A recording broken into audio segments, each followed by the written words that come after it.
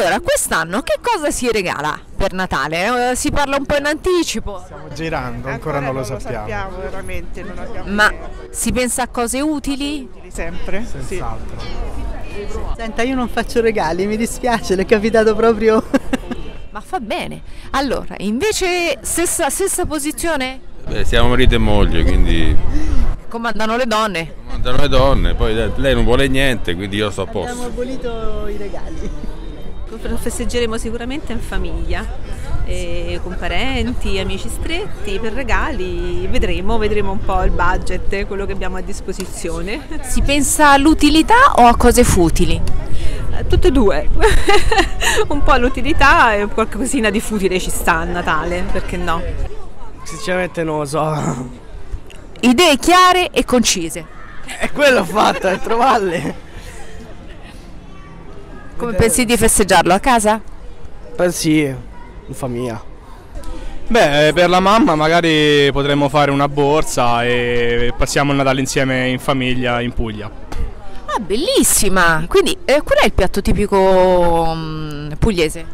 Beh, se parliamo di pranzo possiamo pensare alle orecchiette con le cime di rapa e- oppure la classica focaccia con pomodori e olive. Senti, eh, però la parola orecchiette me la devi dire fatta bene. Orecchiette? La parola orecchiette me la devi dire fatta bene alla che cozzalone. Le orecchiette con le cime di rapa. Penso di fare una settimana bianca insieme ai familiari e lo passo insieme a loro. Ah, bellissimo! Dove, se mi posso permettere, dove pensate di andare? Il posto ancora non l'abbiamo deciso, però pensiamo di andare là. Cioè in settimana bianca. Idee per il Natale?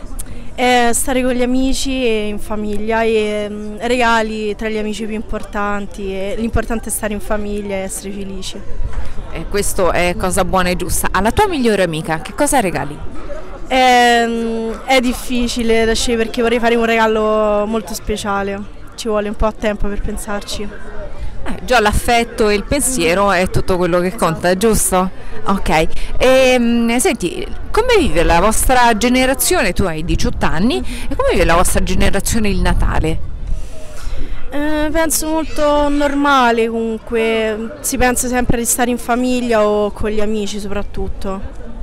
Grandi luminarie, eh, si sente l'aria del Natale e lei ha già qualche progetto per Natale in merito ai regali o in merito a come festeggiarlo? Regali, Sto aspettando un regalo per delle nostre amiche e i progetti per il Natale è la famiglia, quindi stare in famiglia come sempre.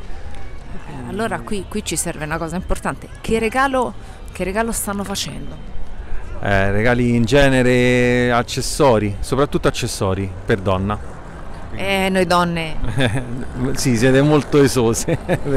Molte- avete qualche mm, piatto tipico di tende eh, che generalmente mangiate solo a Natale? No, solo a Natale no, eh, fortunatamente no, però tradizione è pesce a vigilia e poi facciamo la carne a- al Natale e in genere salmone, gamberoni, cose normali, dai. Stare in famiglia come tutti gli anni, in famiglia e cercare di ricreare l'atmosfera familiare Tipica del bene, Natale. tipica del Natale che ci piace condividere tutti gli anni. Tanto noi non lo diciamo a nessuno. Ha qualche idea per i regali?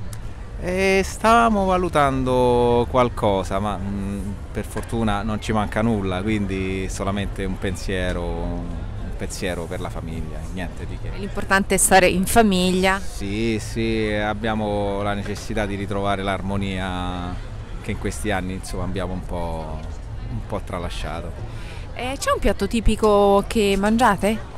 Ah, il piatto tipico di questa zona, io non sono di Civitavecchia, eh, ci abito da qualche anno, so che il, il piatto tipico del Natale sono i biscottini, quindi quelli sono... Qual è il reale termine tecnico del biscottino? Alla civita Ci vecchiese. provo, eh, ci provo. Le biscottine. Bravissimo, l'hai detto benissimo, bravissimo.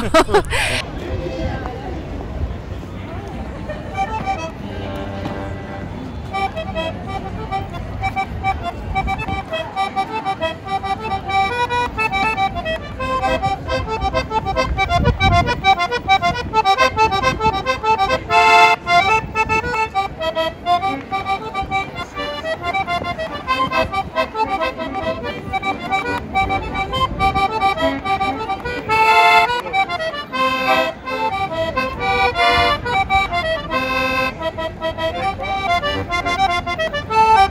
you.